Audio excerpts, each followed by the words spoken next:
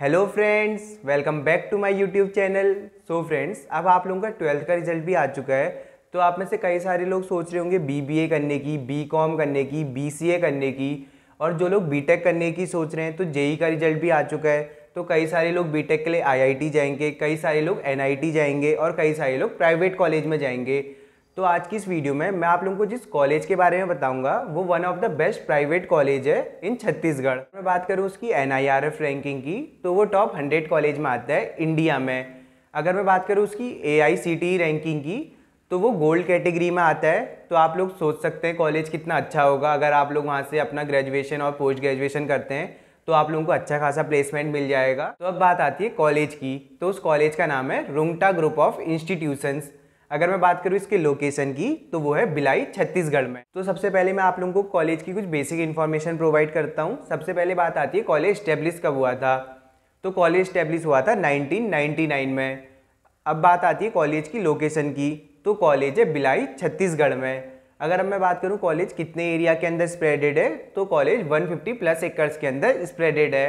अगर अब मैं बात करूँ कॉलेज कौन कौन से कोर्स प्रोवाइड करता है तो कॉलेज जो कोर्स प्रोवाइड करता है वो है B tech M tech M B M C A B B A B C A polytechnic और बी टेक में कॉलेज आपको कई सारी ब्रांचेस प्रोवाइड करता है, जैसे C S C computer science engineering I T information technology mechanical engineering civil engineering electrical engineering और भी कई सारी ब्रांच कॉलेज आपको प्रोवाइड करता है। अब बात करते हैं फ़ीस की। तो सबसे पहले बात आती है बीटेक की। अगर आप लोग वहाँ से बीटेक करते हैं तो आप लोगों की एक साल की फ़ीस होगी सेवेंटी फाइव थाउज़ेंड और यही सेम फ़ीस रहेगी फॉर फोर ईयर्स अब बात करते हैं एम टेक की। अगर आप लोग वहाँ से एम टेक करते हैं तो आप लोगों की एक साल की फ़ीस होगी सिक्सटी नाइन थाउज़ेंड और यही सेम फ़ीस होगी फॉर टू ईयर्स अब बात करते हैं एम बी ए की। अगर आप लोग वहाँ से एम बी ए करते हैं तो आप लोगों की एक साल की फ़ीस होगी फिफ्टी थाउज़ेंड और यही सेम फ़ीस होगी फॉर सेकेंड ईयर अब बात करते हैं हम बीबीए की। अगर आप लोग वहाँ से बीबीए करते हैं तो आप लोगों की एक साल की फ़ीस होगी ट्वेंटी सिक्स थाउज़ेंड और यही सेम फ़ीस होगी सेकेंड और थर्ड ईयर की भी।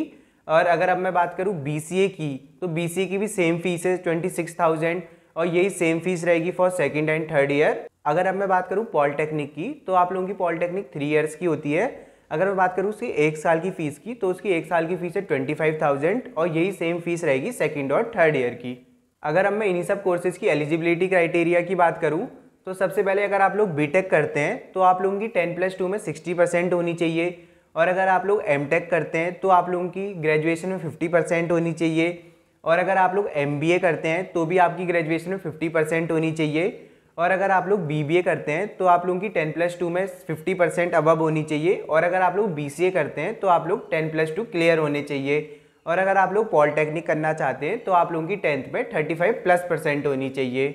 तो दोस्तों, अगर आप लोग यहाँ से अपनी ग्रेजुएशन या पोस्ट ग्रेजुएशन करते हैं तो उसके बाद जो सबसे मेन चीज़ होती है, वो होती है प्लेसमेंट। तो अब हम बात करते हैं प्लेसमेंट की। तो कॉलेज हंड्रेड परसेंट प्लेसमेंट का दावा करता है और आज तक कॉलेज में three hundred plus companies visit कर चुकी है। अगर मैं कॉलेज के आज तक के हाईएस्ट पैकेज की बात करूँ तो कॉलेज का आज तक का हाईएस्ट पैकेज है फोर्टी एट एल अगर मैं बात करूँ कॉलेज के एवरेज पैकेज की तो कॉलेज का एवरेज पैकेज है थ्री से फोर एलपीए के बीच में।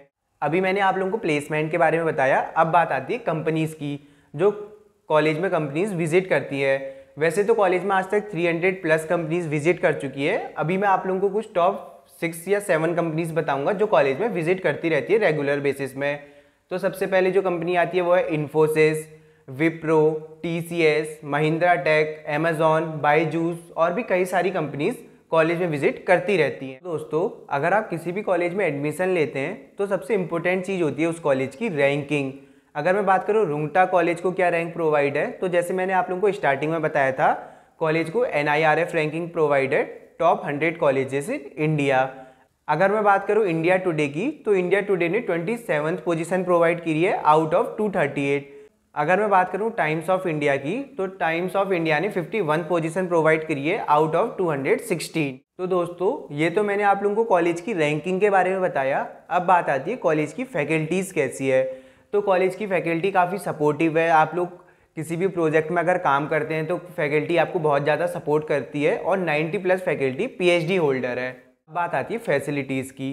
तो कॉलेज जो आपको फैसिलिटीज़ प्रोवाइड करवाता है, वो है सबसे पहले कॉलेज आपको लाइब्रेरी प्रोवाइड करवाता है। कैंटीन प्रोवाइड करवाता है, स्पोर्ट्स प्रोवाइड करवाता है। स्पोर्ट्स में आप लोगों के लिए बहुत इंडोर और आउटडोर स्पोर्ट्स है। अगर मैं बात करूँ कुछ आउटडोर स्पोर्ट्स की तो आउटडोर स्पोर्ट्स में कॉलेज आपको football ground cricket ground volleyball court basketball court और भी कई सारे स्पोर्ट्स प्रोवाइड करवाता है और जिम प्रोवाइड करवाता है जिमनास्टिक प्रोवाइड करवाता है। ऐसे कई सारी फैसिलिटीज़ कॉलेज आपको प्रोवाइड करवाता है। तो दोस्तों, अब मैंने आप लोगों को कंप्लीट एक ओवरव्यू प्रोवाइड कर दिया कॉलेज का।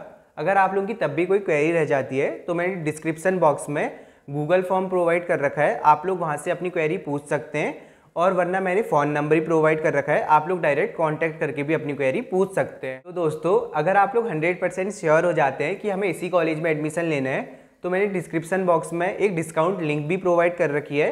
अगर आप लोग मेरी डिस्काउंट लिंक को यूज़ करके किसी भी कोर्स के लिए एप्लीकेशन फॉर्म भरते हैं तो आप लोगों की 50 परसेंट फ़ीस ऑफ़ हो जाती है एप्लीकेशन फॉर्म की। तो चलो दोस्तों, अब इस वीडियो को और लंबी ना करते हुए इस वीडियो को यहीं पर को एंड करते हैं।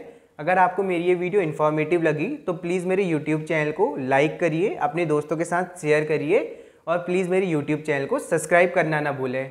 तो चलो मिलते हैं आप लोगों से बहुत जल्द एक नई वीडियो के साथ। तब तक के लिए बाय स्टे ट्यून